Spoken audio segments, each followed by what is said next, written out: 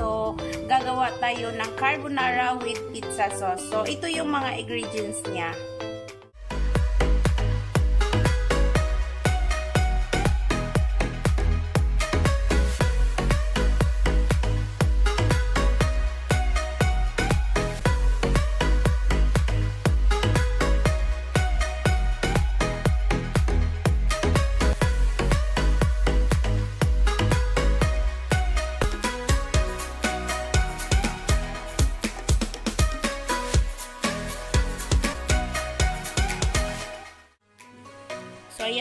Loves, kumukulo na yung pinainit natin na tubig. So, lagyan natin siya ng konting salt and oil.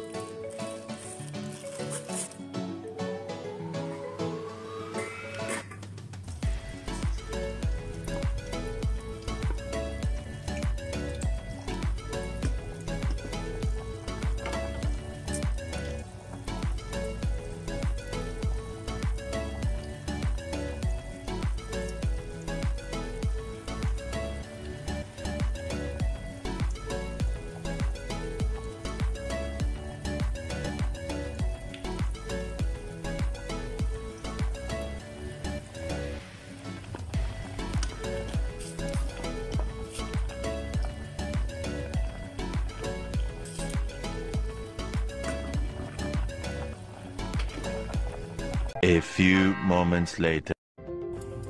So, ayan, hindi pa mainit yung mantika.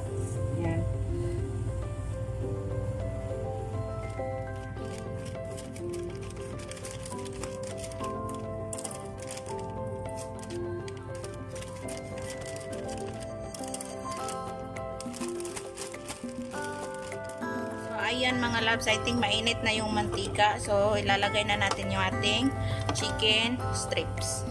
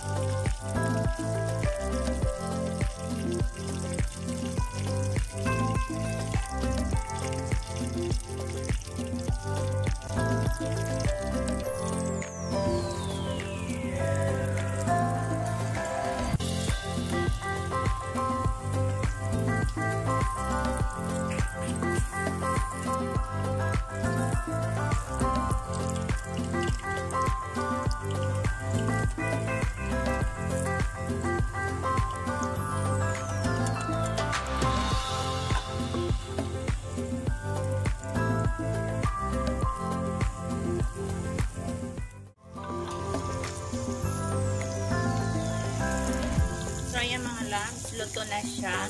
Ayan.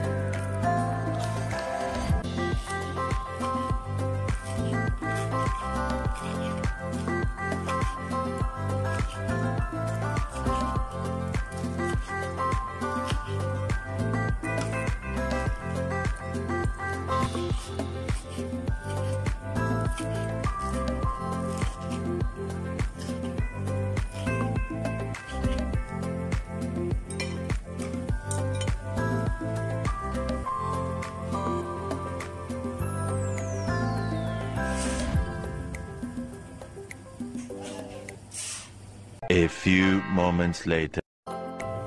So, ayan mga loves, magpapainit tayo ulit ng kawali at ilalagay natin yung ating butter para iluto natin sa ating mushroom.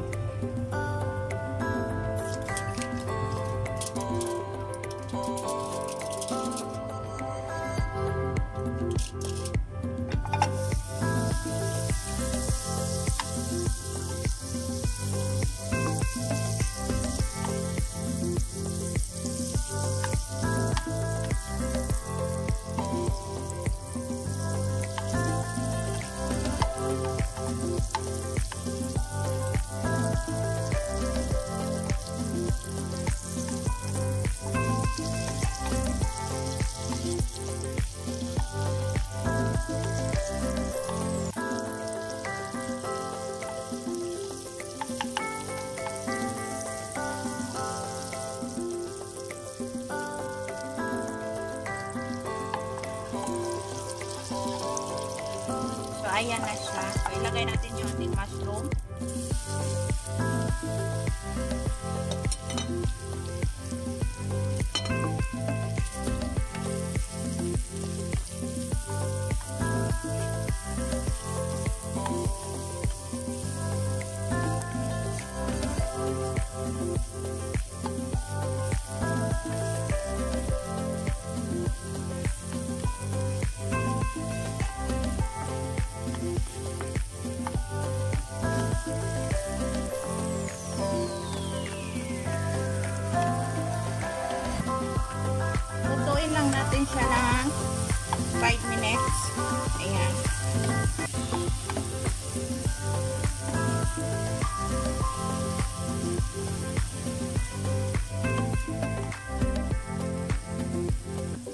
Ayan mga loves, luto na ang ating mushroom.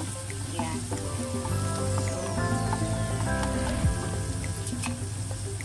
A few moments later. Ayan, so maglalagay tayo ng tatlong kutsara ng pizza sauce. Ayan.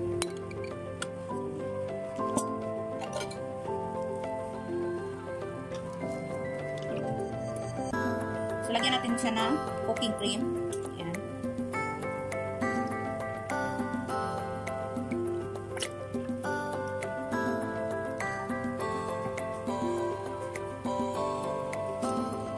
Natin siya.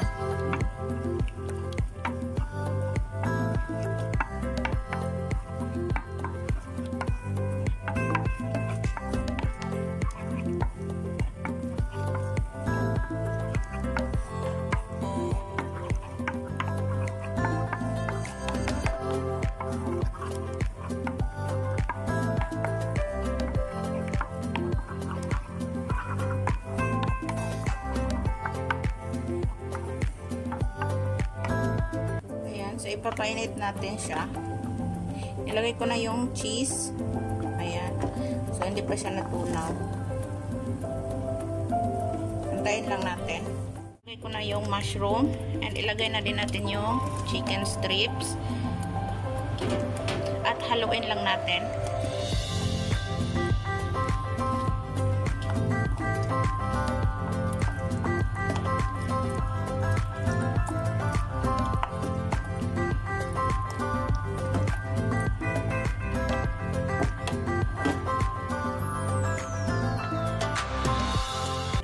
Yan na siya. So, ilagay ulit natin yung ating pasta at haluin ulit.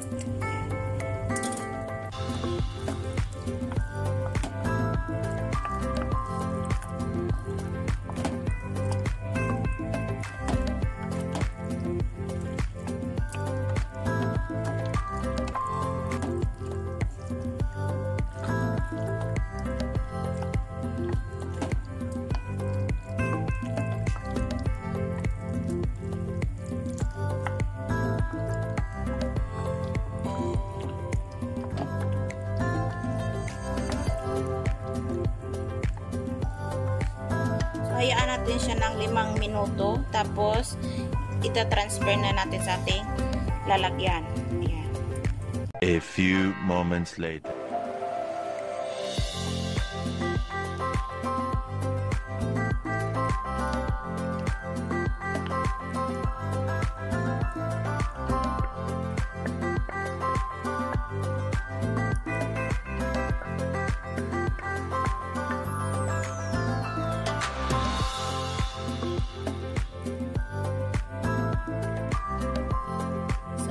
siya. Ready to serve.